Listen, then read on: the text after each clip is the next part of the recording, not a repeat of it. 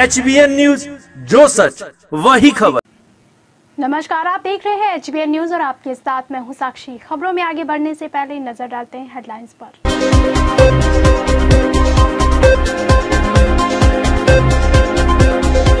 ग्वालियर में चलती कार में लगी आग। कार ड्राइवर ने कूदकर बचाई अपनी जान। मौके पर पहुँची फायर ब्रिगेड की गाड़ी।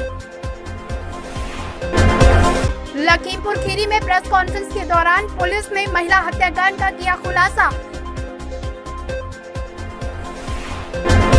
लखीमपुर खीरी में पुलिस अधीक्षक ने की प्रेस कॉन्फ्रेंस, जले हुए अवस्था में मिले शव पर दी चर्चा। ग्राम पंचायत गंगहरा में सचिव ने दी किसानों और हितग्राहियों को ग्राम पंचायत की सभी योजनाओं की जानकारी। रीवा में नए संभाग युक्त डॉक्टर अशोक भार्गव ने पदभार किया ग्रहण। कहा, शिक्षा और स्वास्थ्य व्यवस्था में होगा सुधार। और अब रुक करते हैं खबरों की ओर। ग्वालियर में थाटीपुर चौराहे पर अचानक से चलती कार में आग लग गई। वही कार को चला रहे ड्राइवर ने अपनी जान बचाते हुए कार से कूदकर बाहर निकल आया। आग की खबर मिलते ही फायर ब्रिगेड गाड़ी मौके पर पहुँची और आग पर काबू पाया गया। ग्वालियर में देर रात खाटीपुर चौराहे पर अचानक से चलती कार में आग लग गई। वहीं कार को चला रहे ड्राइवर ने अपनी जान बचाते हुए कार से कूदकर बाहर निकल आया। आग की खबर मिलते ही फायर ब्रिगेड की गाड़ी मौके पर पहुँची और आग पर काबू पाया गया। दोबारा से जी। टेलीफोन द्वारा सूचना मिली थी कि जो है ठाटीपुर पीडब्ल्यू ऑफ़िस के पास एक कार में आग लगी है। गाड़ी रवाना की थी गाड़ी की आग को बुझाया। गाड़ी विनोद राठौर एसपी साहब के रीडर की गाड़ी थी जिसका नंबर एम पी तैतीस ज़ीरो सोलह ज़ीरो एक जो-? संभावित शॉर्ट सर्किट है। ड्राइवर शशिकांत मौके पर मौजूद थे। कोई जनानी वगैरह किसी प्रकार की जनानी नहीं हुई। एक गाड़ी से काबू कर लिया गया। वहीं आग लगने का कारण शॉर्ट सर्किट होना बताया जा रहा है और पुलिस फ़िलहाल जाँच में जुट गई है। लखीमपुर खीरी में प्रेस कॉन्फ्रेंस के दौरान पुलिस ने महिला हत्याकांड का खुलासा कर दिया है। महिला की हत्या को अंजाम किसी और ने नहीं, बल्कि उसके ही पति ने दिया था। लखीमपुर खीरी में प्रेस कॉन्फ्रेंस में पुलिस अधीक्षक पूनम ने बताया कि थाना क्षेत्र सिंगाही के अंतर्गत भेड़ौरा निवासनी लज्जावती 12 जनवरी को घर से काम करने निकली थी। शाम को घर वापस न पहुँचने पर घर के और आसपास के लोगों ने छानबीन शुरू की तो पूरी रात ज्ञानबीन करने के सुबह गाँव के कुछ दूरी पर एक गन्ने के खेत में महिला मृत अवस्था में पाई गई। सगे संबंधियों ने हत्या की आशंका जताई थी, जिसकी तहरीर सिंगाही थाने में मृत महिला के भाई ने दी थी, जिसके चलते हत्याकांड में आरोपितों की तलाश के लिए मुखबिर की सूचना पर संभावित ठिकानों पर लगातार दबिश ये तेरह तारीख में सिंगाही में एक महिला का शव वहाँ खेत में मिला था। तो ये जो कि सिंगाही कस्बे से थोड़ी सी दूरी पर एक गाँव है वहाँ पर। जब पूरी छानबीन की गई तो जानकारी हुई कि यह महिला जो 45 वर्ष की है, इसके पति को ही, इसके पड़ोस के युवक से अवैध संबंधों का शक था। उसके आधार पर वह इसको मारने की योजना बना रहा था। और 12 में जब यह काम करने के लिए गई है तो वहीं पर इसने जाकर इससे बात की, इसको रोका कि खेत से चारा भी यहाँ पर ले लेते हैं, खेत में लेकर गया और गला दबाकर इसकी वहाँ हत्या कर दी। दे रही थी, जिसकी खुलासा हुआ तो पति ही निकला कातिल।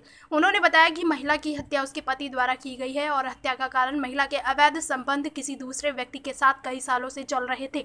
ये बात हत्या करने वाला महिला के पति चेतई ने कबूला हत्या करने वाला महिला के पति चेतई को गिरफ़्तार कर पुलिस अधीक्षक के समक्ष पेश कर संबंधित धाराओं में मुकदमा दर्ज कर जेल भेजा गया।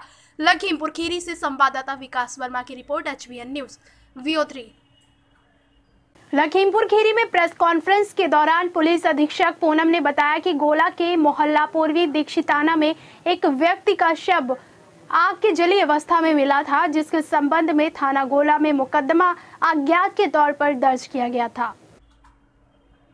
लखीमपुर खीरी में प्रेस कॉन्फ्रेंस के दौरान पुलिस अधीक्षक पूनम ने बताया कि 22 तारीख को समय एक दस बजे सुबह गोला के मोहल्ला पूर्वी दीक्षिताना में एक व्यक्ति का शव आग की जली अवस्था में मिला था।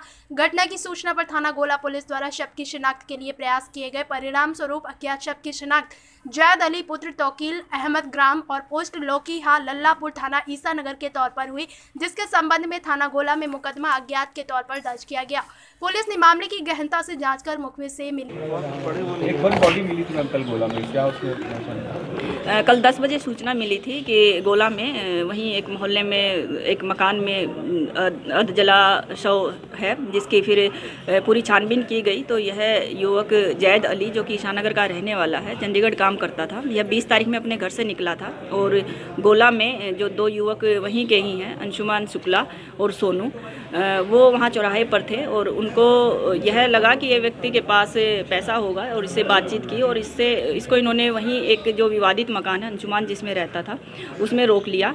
और 21 में फिर जब इससे पैसे लेने का प्रयास किया, इनसे पूछताछ में इन्होंने बताया है कि पैसा उसके पास नहीं था, लेकिन इनको भय हुआ कि अब यह पुलिस को सूचना देगा और हमारे खिलाफ कार्रवाई हो जाएगी। तो वहीं ईट से इसके सिर पर वार करके इसकी हत्या कर दी और शव को फिर दिन में इन्होंने पहले बोरे में बंद किया कि इसको यहीं पर छिपा देंगे, लेकिन बाद में इसको जलाने की योजना बनाई और पेट्रोल से वहीं पर एक जो प्लॉट है साठ सत्तर मीटर की दूरी पर, उसमें इस शव को इन्होंने जलाया और दोनों, फिर पूरा जब केस को वर्कआउट किया गया तो इनके पास से दोनों इन अभियुक्तों को गिरफ़्तार किया गया और वह ईट बरामद की गई, जिससे इन्होंने सिर पर वार किया था, जिस पर रक्त अभी भी लगा हुआ था। और जो मृतक है, इसका मोबाइल बरामद हुआ और उसका बैग बरामद हुआ है। सूचना के आधार पर दो लोगों को गिरफ़्तार किया। पूछताछ में उन्होंने बताया कि हम लोग जैद अली को अपने घर ले जाकर साथ में नशा करने के उपरांत हुए विवाद में अभियुक्त गढ़ों द्वारा मृतक के हाथ पीछे बांधकर ईंट से सर पर वार कर हत्या के उपरांत उसके मुँह में कपड़ा ठूस मृतक के शव को अपने प्लॉट में रखकर पहचान छिपाने के उद्देश्य से पेट्रोल डालकर शव को जला दिया था। गिरफ़्तार किए गए अभियुक्तों में अंशुमान शुक्ला उर्फ़ अंशु पुत्र नरेश देव शुक्ला, निवासी मोहम्मदी रोड, पूर्वी दीक्षिताना गोला, सोहन उर्फ़ सोनू पुत्र छोटेलाल, निवासी हाफिजपुर थाना गोला। इन दो लोगों को पुलिस ने एक इंच और एक मोबाइल और एक कपड़ों के बैग समेत गिरफ़्तार कर जेल भेज दिया है। लखीमपुर खीरी से संवाददाता विकास वर्मा की रिपोर्ट एच ग्राम पंचायत गंगहरा में सचिव द्वारा किसानों को और हितग्राहियों को ग्राम पंचायत की सभी योजनाओं की जानकारी दी गई। सचिव की ये पहल सराहनीय बताई जा रही है। आपको बता दें कि जब हमारे संवाददाता एच की चतुर्वेश, चतुरेश द्विवेदी ग्राम पंचायत गंगहरा के पहुँचे तो सचिव द्वारा किसानों को और हितग्राहियों को ग्राम पंचायत की सभी योजनाओं की जानकारी दी जा रही थी। और ये सचिव की अच्छी पहल बताई जा रही रीवा में संभाग के नए संभागायुक्त डॉक्टर अशोक भार्गव ने पदभार ग्रहण किया और उन्होंने कहा कि शिक्षा और स्वास्थ्य व्यवस्था में सुधार होगा। मध्य प्रदेश के रीवा संभाग के नवा नवागत आयुक्त डॉक्टर अशोक भार्गव ने चार्ज संभाला। रीवा संभाग के नए संभागायुक्त डॉक्टर अशोक भार्गव ने पदभार ग्रहण कर लिया और उन्होंने कहा कि शिक्षा और स्वास्थ्य व्यवस्था में धन्यवाद। मुझे नहीं जानकारी थी। कि ऐसा हुआ है।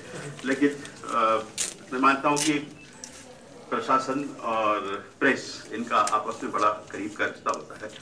क्योंकि बहुत सारी चीज़ें जो मैदानी स्तर पर होती हैं तत्काल उसकी जानकारी आप लोगों के माध्यम से भी मिलती है। तो इसलिए एक स्वस्थ रिश्ता आप हमारे बीच बना रहे। इस मकसद से ही मैंने ये सोचा कि आप सबसे बातचीत की जाए।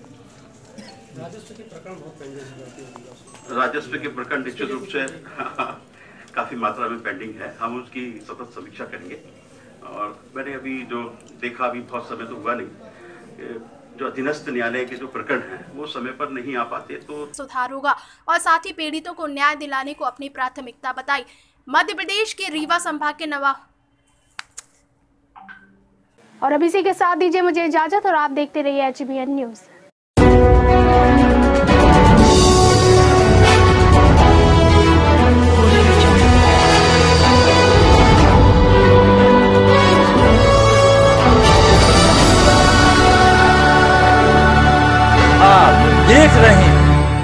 एचबीएन न्यूज़ जो सच वही खबर।